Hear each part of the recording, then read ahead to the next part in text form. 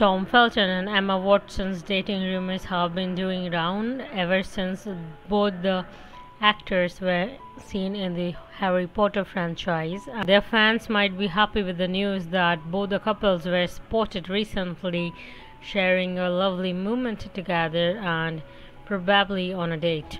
It's quite obvious that Emma Watson is one of the most beautiful actresses out there and many are dying to date her but fans think that she is a perfect match for Tom Felton aka Draco Malfoy. Earlier also, both the couple were spotted in South Africa hanging out together and spending their summer vacations, but it seems that they want to keep their relationship really private. Maybe they are a bit annoyed by the fandom that they're receiving for years after years. Recently, Tom Felton is announcing a reunion of Harry Potter series after their 19th anniversary and everyone including all the cast of Harry Potter will be present there.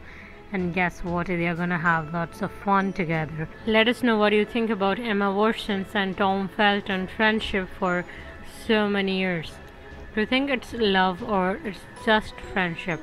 Thanks for watching just talks. For more exclusive news stay tuned